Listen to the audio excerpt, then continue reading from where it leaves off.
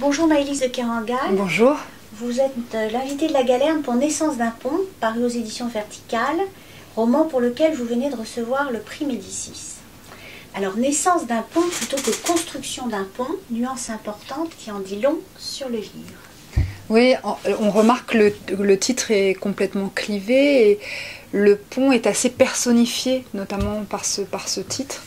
Et de fait, le pont, la construction de ce pont va être le, pont va être le héros du, va être le héros du livre. C'est le sa construction qui va être le moteur de, tout l'ouvrage en fait. Donc euh, cette, euh, le fait d'avoir écrit vraiment naissance d'un pont, donc introduire dans une espèce de césure dans le titre à la fois sur quelque chose de très humain et puis ce pont, un ouvrage euh, désincarné. C'était pour moi l'idée d'incarner, au contraire, d'humaniser presque cette histoire de pont et d'en faire un peu le héros de l'histoire.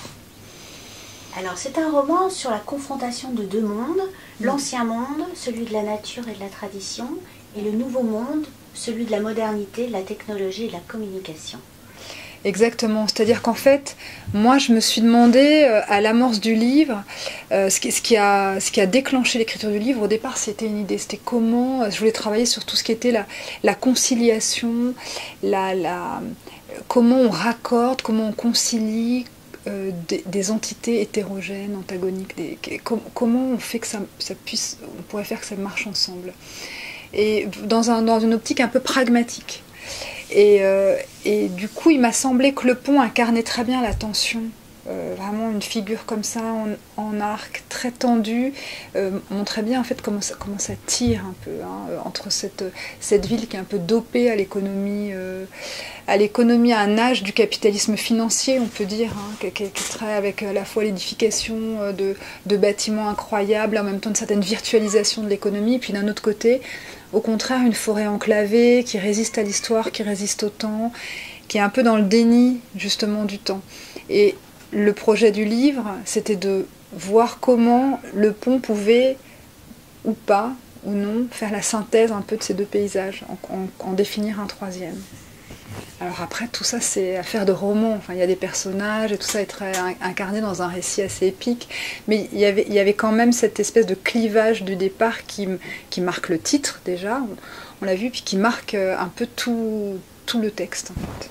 Justement, de la construction du pont, vous avez euh, choisi de faire un roman épique, un roman d'action avec des personnages euh, ordinaires, mais qui sont des héros d'une mm. aventure euh, extraordinaire finalement. Ils sont héroïques dans la mesure où ils sont confrontés à une entreprise qui les dépasse un peu. Et euh, ce qui m'intéressait, moi, c'était de mettre en place un collectif. Donc, et de faire que l'action collective soit le moteur du livre. Et de fait, c'est en ce sens-là qu'il y a une, c'est une épopée. C'est vraiment une épopée, c'est vraiment l'action qui mène le texte.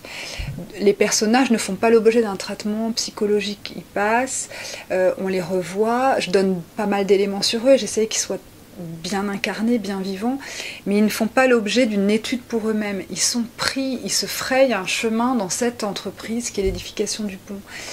Et ce qui m'intéressait, c'était de voir comment euh, le, pont, c'était à la fois l'épopée collective au sein de laquelle on se traçait des destins individuels. Donc il y avait un peu ces deux, ces deux points de vue. Il y avait une espèce de focale un peu comme ça, euh, grande focale panoramique, épique. Et puis par moments, c'est un pied qui rampe sous une couverture et on est dans quelque chose d'assez moléculaire, avec un... Une, on est très très près, très très près des personnages c'était un petit peu, je voulais jouer un peu sur ces deux, sur, sur ces deux points de vue en fait, pendant tout le livre. En tout cas, merci Maëlys de Carangal merci pour à vous. ce roman magnifique et que l'on lit avec euh, un très très grand plaisir. Merci beaucoup.